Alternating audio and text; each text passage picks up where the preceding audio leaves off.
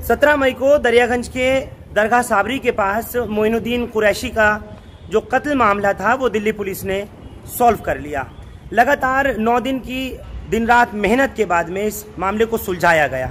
और आप लोग जानकर हैरान होंगे कि कातिल कोई और नहीं, बल्कि मोइनुद्दीन की अपनी पत्नी जेबा कुरैशी थी।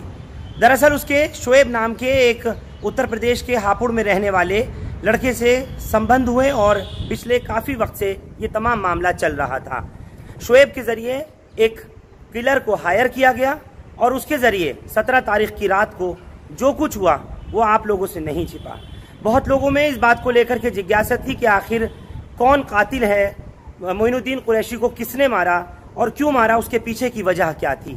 लगातार ये मामला चलता रहा। DCP central district Shweta Chauhan एक प्रेस कॉन्फ्रेंस शुरू करने जा रही हैं। इस पूरे कत्ल मामले को लेकर के आइए चलिए पुलिस हेडक्वार्टर और जानिए कि आखिर कत्ल की वजह क्या थी और क्यों एक पत्नी ने अपने आशिक के साथ मिलकर के पति का ही कत्ल करा दिया। इसी महीने की 17 तारीख को दरियागंज के इलाके में मोइनुद्दीन नाम के एक शख्स को गोली मारकर उनकी हत्या कर दी गई। ये मर्डर एक क्राउडेड इलाके में हुआ और रात के वक्त करीब 10 बजे के आसपास दो लोग एक मोटरसाइकिल पर सवार होकर आए और उन्होंने मोइनुद्दीन कुरैशी नाम के इस शख्स को, जिसकी उम्र 49 इयर्स है, उसको गोली मारकर उनकी हत्या कर दी। ये एक तरह से एक ब्लाइंड मर्डर था और हमें ऐसा लगा कि ये एक सुपारी किलिंग हो सकती है, क्योंकि जो उन्होंने मारा था, उनकी ना कोई पहचान हो रही थी, ना किसी को उनके मरने का कोई कारण समझ आ रहा था। तो ये एक केस जो है थोड़ा डिफ़िकल्ट रहा हमारे लिए, लेकिन हमारी स्पेशल स्टाफ की टीम ने और स्पेशली एक हम लोगों ने इसमें तीन चार टीम्स एक साथ लगाई थी, जिसमें से स्पेशल स्टाफ की team along with team from police station Daryaganj police station Anand Parbat और एटीएस इन सभी टीम्स ने मिलकर इसमें काम किया है और इस केस को अभी सुलझा दिया है।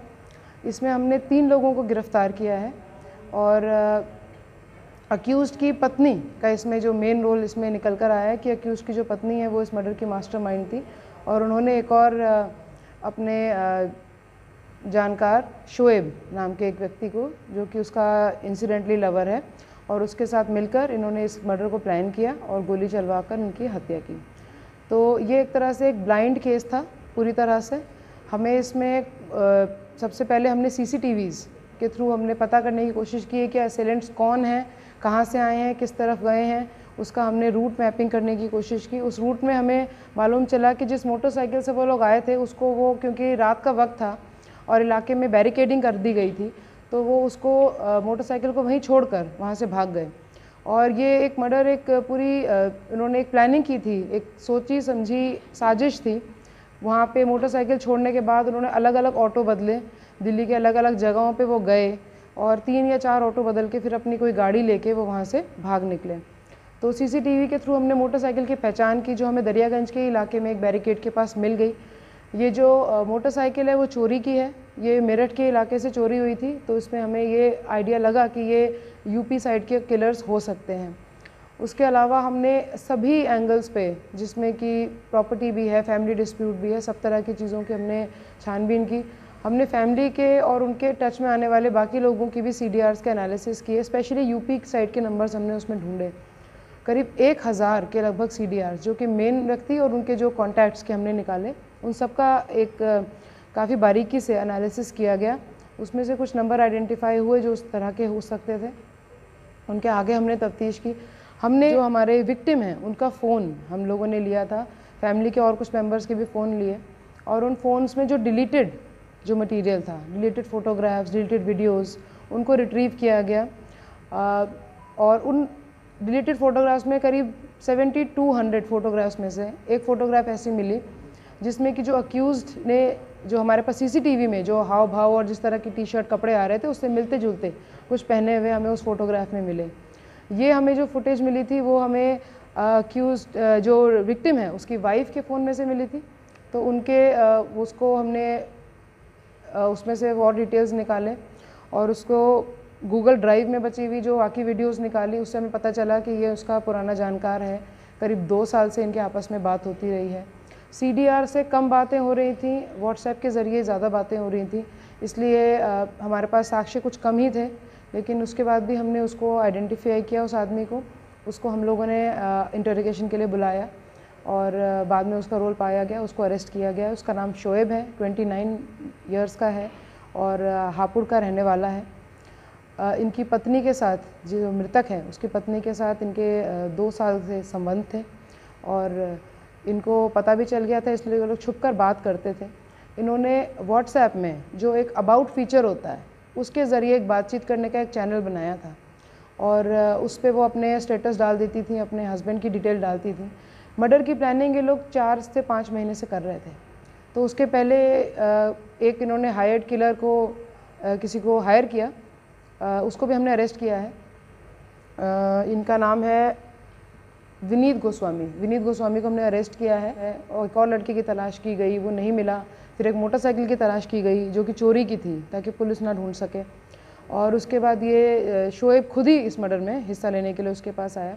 शोएब पर शक इसलिए भी बढ़ा क्योंकि हमने जब पिछले एक साल की सीडीआर एनालिसिस की तो उसमें एक दिन भी उसका फ़ोन बंद नहीं है, लेकिन जो मर्डर वाला दिन है, उस दिन उसका साढ़े सात बजे से साढ़े ग्यारह के बीच में फ़ोन ऑफ़ था। लेकिन फुटेज में वो नज़र आ रहा है और उसकी व्हाट्सएप पे जो बातें हो रही हैं, उसका फ़ोन चल रहा है ऑफ़ हो रहा है, लेकिन वैसे उसने एरोप्लेन मोड पे चलाया हुआ है। और उसके थ्रू हम लोग इस किलर को पकड़ पाए हैं। इसमें और भी अक्यूज़ हैं। बीच की चेन पे हम लोग अभी काम कर रहे हैं। इन तीन लोगों को अरेस्ट किया गया है। और उसके साथ ही ये मर्डर का केस सॉल्व हो गया।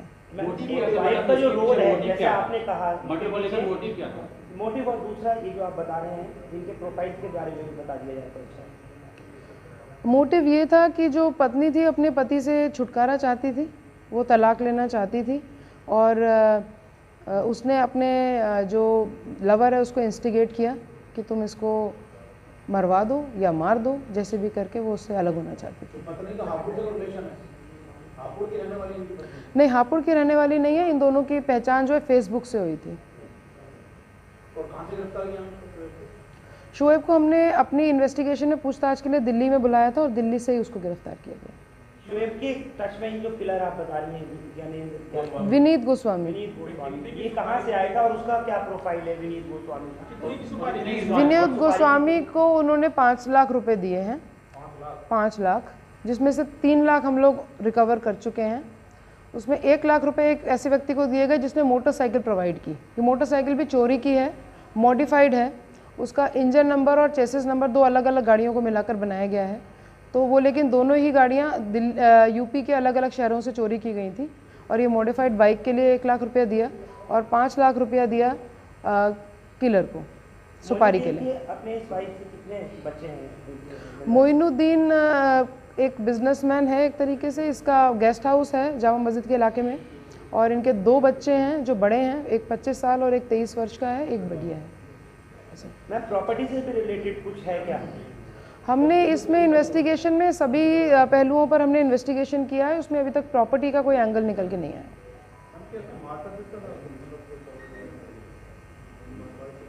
वाइफ के साथ रिलेशन जिसके ठीक नहीं थे? लड़ाई झगड़ा या कुछ?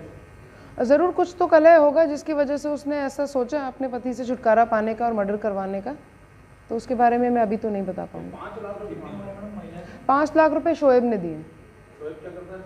शोएब बिज़नेस करता है? हापुड़ में रहता है वहाँ पे उसका कोई हेल्थ सप्लीमेंट्स का बिज़नेस है और वहाँ से उसने वो पाँच लाख रुपए निकाल के दिए। फेसबुक के ज़रिए दोस्ती हुई उसके बाद ये मिलने लगे अभी एक डेढ़ महीना पहले भी ये दिल्ली के ही एक किसी होटल में मिले थे। महिला की उम्र कितनी है और इसकी कितनी है श्वेत की? महिला की उम्र चालीस वर्ष है। जैसे जो मर्डर हुआ है वो खालसा स्कूल के बाहर हुआ था। तो ये लोग क्या वेट कर रहे थे कि वो वहाँ पे जाए और मर्डर करके वो फरार हो जाए? या वहाँ पे पहले से खड़े हुए थे? क्या कर रहे थे रैकी की इनकी जाने इन्होंने कई दिन रैकी की है। लगातार हमारे पास जो इनके रिकॉर्डिंग्स भी आई हैं जो हमारे पास सी भी आई हैं ये कई बार आए हैं उस इलाके में।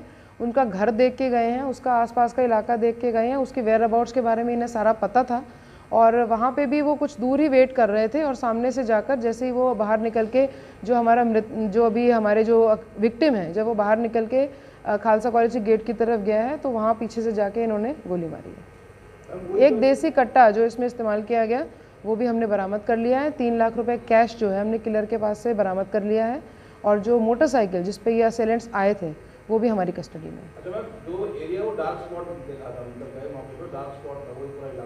तो उसके लिए पुलिस ने कुछ कार्रवाई की क्योंकि बताया यार परिवार आरोप लगा रहा है डार्क स्पॉट का ही फ़ायदा उठाते हुए मार देखिए डार्क स्पॉट नहीं है तभी इतनी सारी फुटेजेस हमें मिल पाई हैं। ये कोई ऐसा अंधेरा इलाका नहीं है लेकिन हाँ जैसे इस मान लीजिए इस कमरे में जैसी रोशनी वैसी तो रोशनी कहीं भी रात में नहीं मिल पाएगी but I will not call it a dark dark spot तो सुना आपने और देखा एक हैरत अंगेज कत्ल की कहानी। आप लोगों को जानकर हैरानी होगी।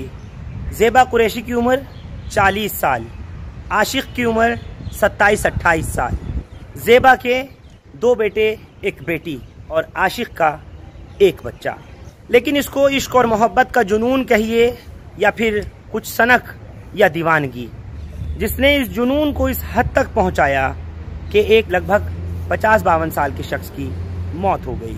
तीन बच्चों की माँ जेबा इस हद तक जा सकती है कि अपने पति का कत्ल करा सकती है, ये किसी ने सोचा नहीं था।